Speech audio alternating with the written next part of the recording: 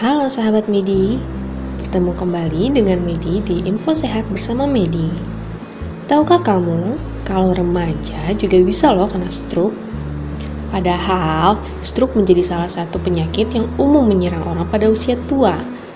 Risikonya akan semakin meningkat pada orang yang berusia 55 tahun ke atas. Namun, tidak menutup kemungkinan jika penyakit ini juga bisa menyerang orang yang usianya lebih muda, contohnya remaja. Kenapa stroke bisa terjadi pada anak remaja? Yuk cari tahu penyebab dan kenali gejalanya.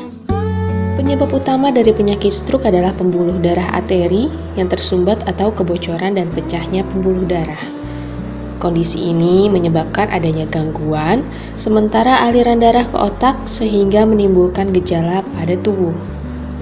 Nah, pada remaja, penyakit stroke mungkin saja terjadi jika ia memiliki satu dari kondisi kesehatan berikut ini.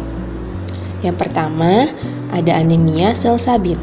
Ini adalah kondisi darah turunan dan menyebabkan penggumpalan darah yang disebabkan oleh proses yang disebut cycling atau perubahan karakteristik dalam bentuk sel-sel darah merah dalam menanggapi stres fisik seperti infeksi, di mana gumpalan darah ini dapat terbentuk di mana saja pada bagian tubuh. Dan jika gumpalan darah terbentuk pada otak atau dalam perjalanan ke otak, maka akan menyebabkan stroke. Yang kedua, adanya masalah pada jantung. Penyakit jantung dan kelainannya bisa mengakibatkan detak jantung yang tidak teratur masalah fungsi jantung atau serangan jantung yang semuanya dapat menyebabkan stroke. Lalu ada kolesterol tinggi. Relatif jarang terjadi sih pada remaja, tetapi ada beberapa gangguan metabolisme bawaan yang bisa menyebabkan kadar kolesterol naik. Hal ini dapat menyebabkan penyakit jantung serta penyakit cerebrovaskular, meningkatkan risiko stroke.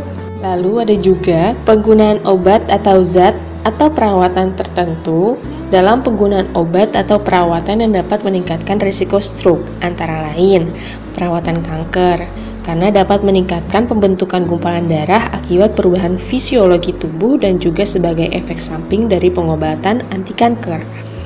Terapi hormon atau obat yang mengubah hormon termasuk penggunaan steroid, pil KB, dan juga fisiologi pembuluh darah dan fungsi pembukuan darah sehingga meningkatkan resiko stroke dan juga rokok dan alkohol.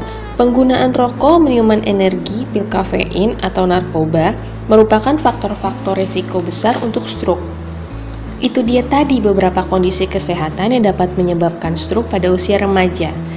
Medi punya cara khusus loh untuk bantu teman-teman mencegah datangnya stroke atau menyembuhkan kondisi kesehatan yang sedang dialami Sobat Medi. Yuk cek caption di bawah ini ya. Sampai jumpa lagi di info sehat bersama Medi selanjutnya. Medi pamit, sehat selalu Sobat Medi. Mau sehat, ingat media.